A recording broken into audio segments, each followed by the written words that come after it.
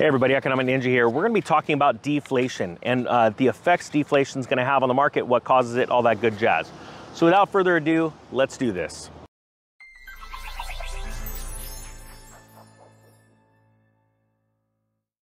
Okay, here we go. This is a question that came in uh, from a subscriber and I thought it was great and uh, it's a real simple question. Hey Ninja, any thoughts on deflation coming into play? All right. So first off, the definition of deflation, and it's very broad, is this. The reduction of the general levels of prices in an economy. Well, that's really broad. And then he gives an example. A high time of employment and deflation. so the facts are that to say these this definition is broad is an understatement, but um, they like to bring you into the thought of uh, that. Well, let me hear it again that unemployment equals deflation, but that's actually not always the case. There is another type of deflation, and it's true. Uh, we saw this in 2006, 2007, when unemployment started ticking up, and just people had less, there was less high paying jobs to keep pressing the high levels of real estate up, right?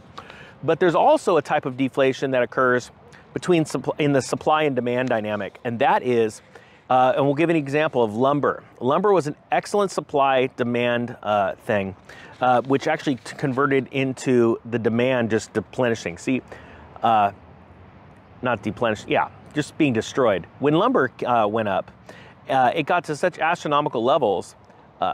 People, because of the supply, right? That was the whole story. There's no supply, so the prices cruised up. Well, the problem is demand was destroyed because so many people that were using that lumber weren't using that lumber like where they like, I have to get this lumber in my hands because I have to build my house because I don't have another place to live. They said, I'm just building a shed. I'm just building a deck. I'm just gonna do a room addition, right? By and large, that's like 80% of the people that go to your home do it centers to buy lumber, that's what they're doing. They're not building a full house. And they said, the heck with this. Why would I spend three or four times more on the lumber portion of this when I could just wait. I'll just wait. I can wait it out. And what happened was because of the super high prices, and you know, they have a famous saying, the cure for high prices is high prices. And that's exactly what happened. So you had the supply and demand dynamic turn into the demand is uh, going to disappear because you guys are nuts. I ain't paying for this. So that's what took it down. So with this question being any thoughts of deflation coming into play, I said yes, there, I do see deflation coming into play. It lines up with the dollar whippet theory where I, I showed you uh, we're gonna go from inflation to deflation to hyperinflation. And the reason why we're gonna have deflation is because just that, lumber was too high, the heck with this. Steel is too high, the heck with this. We're not gonna buy, buy the steel. We're, gonna, we're either gonna use a different material or we're gonna wait, all right?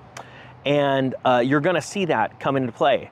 I believe that the uh, forbearance, uh, when those start getting resolved, and the uh, eviction moratorium, you're going to see, uh, you know, those two things are going to level a lot of demand in so many different uh, areas in, in the economy. You know, electronics, I believe, are going to take a hit, and other things that are not consumer staples, right? Things that people need to survive. You couple that with the cost of fuel that's rising and food prices that are getting out of control. And now we're dealing with uh, food prices getting out of control, not only because of drought and weather issues, things like that, but now supply complete supply chain breakdown, okay? I believe people are gonna be spending more money on food and fuel, like I said back in April, than they're gonna care about buying lumber and building things and electronics. So yes, I do believe deflation comes into play. I do, uh, my personal theory, this is not trading advice. Um, I believe that the Fed is gonna do a whipsaw when uh, deflation rears its ugly head, which I believe is coming soon. Um, you know, I believe it's uh, honestly gonna be coming here within the next few months and then the, the Fed's gonna start to print money. So I hope you guys got something out of this. Uh, I thank you. Uh, in during deflationary times, cash is king. Remember that. But this is something that we have never experienced before in at least our lifetime, and that's a currency collapse. So, uh, don't know if cash is going to be good over the long term when we move into a hyperinflationary scenario. Gold, silver, cryptocurrencies like Bitcoin, I think will do very well. But again, that's not my financial advice. That's just what I'm thinking. All right, guys. That being said, the Economic Ninja is out.